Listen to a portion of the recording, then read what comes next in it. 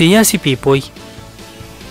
Bata pa lang si Pipoy, gusto na niya ang larong basketball.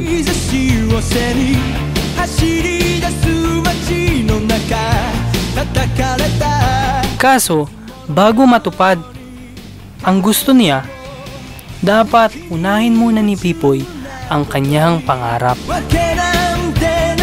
Ano nga ba ang pangarap ni Pipoy?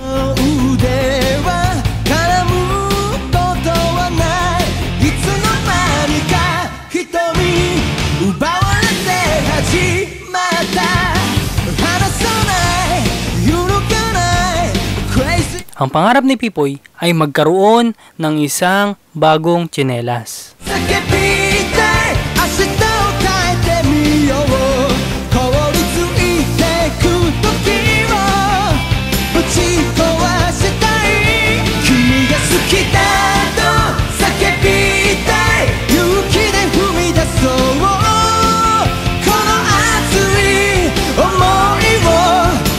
Sana bilhan na si Pipoy ng kanyang inay ng isang bagong tsinelas.